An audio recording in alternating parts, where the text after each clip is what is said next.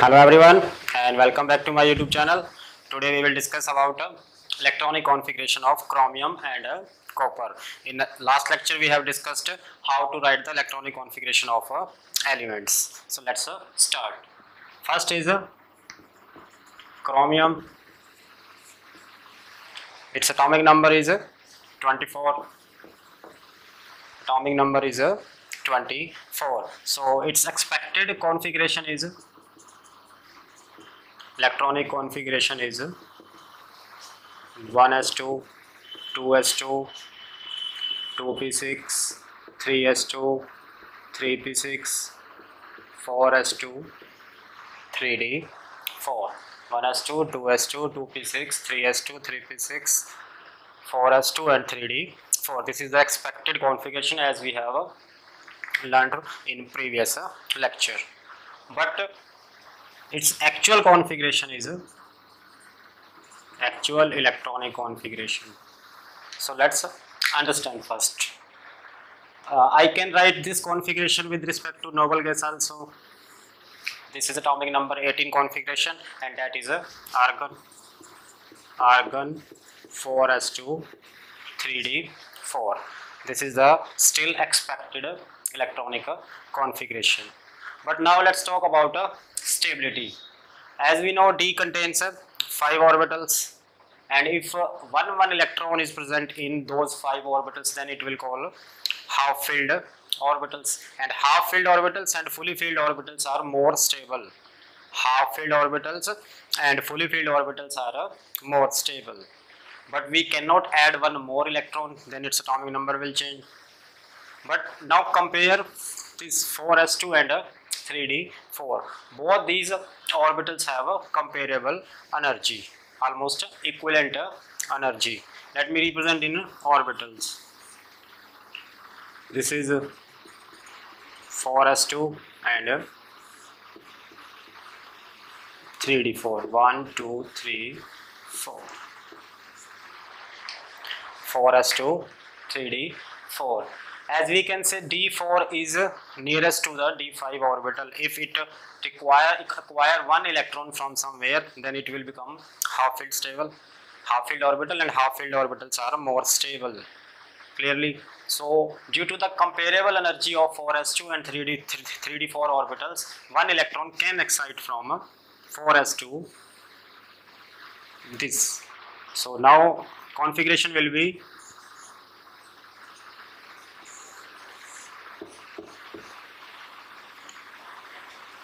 this will become 4s1 before we have 3d4 now fifth electron comes from a s. So it becomes a 3d5 so we can say 3d5 is more stable than 3d4 because it is half filled orbital and half filled orbitals are more stable so conclusion is d5 is more stable than d4 because it is half filled and it is nearest to half filled orbital so now its actual configuration is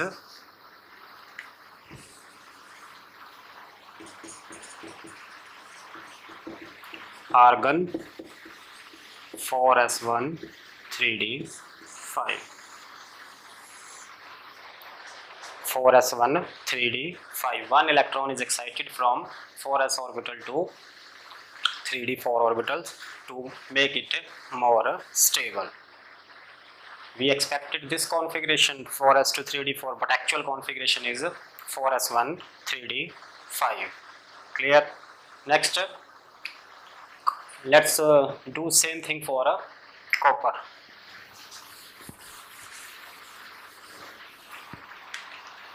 next is copper. Atomic number we know 29 so its expected configuration is I am writing it short in a, with respect to noble gas argon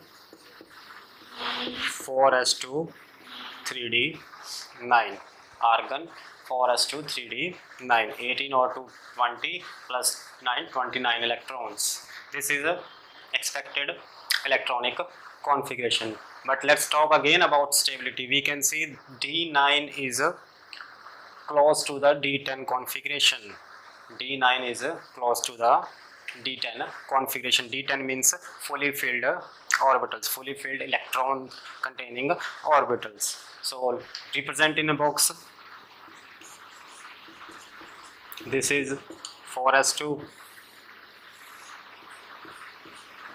and if we follow the Hund's rule Hund's rules of uh, pairing 1 2 3 4 5 6 7 8 9 this is a 3d 9 configuration.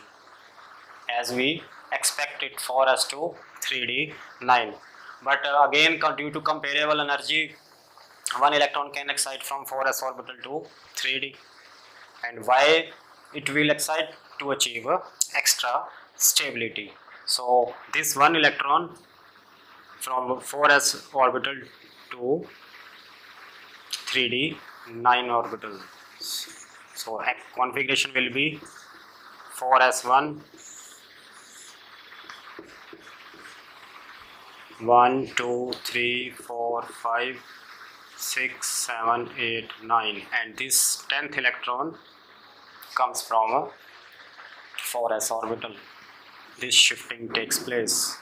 So we can see now this become 3d 10 expected was uh, 4s2 3d 9 but actual configuration we have now actual configuration is argon 4s1 3d 10 and conclusion again.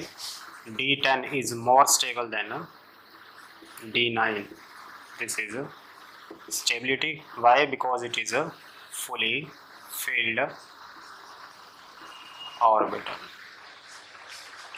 So these are the two elements which violates the normal electronic configuration rules.